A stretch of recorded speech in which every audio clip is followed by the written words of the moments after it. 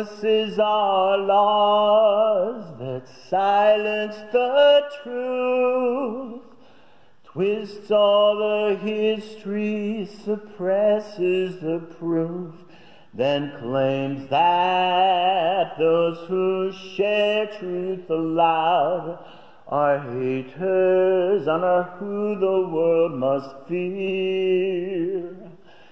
Can you now believe the world's upside down?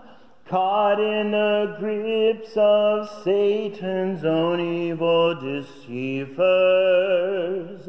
Those who lie all the time mock God's word. And yes, the saddest is real. Just one sad story for humanity. I still have hope that one day more we'll see. We must search for the truth. We're told we live in a democracy. That is a lie, it's a plutocracy. Disguised as red versus blue. Time to stand back up and worship the truth. Stop paying money supporting the troop of Satan and the false synagogue that hates us and refers to us as dogs. They do laugh at us and wonder why we help their agenda that stops Jesus' plea to save us.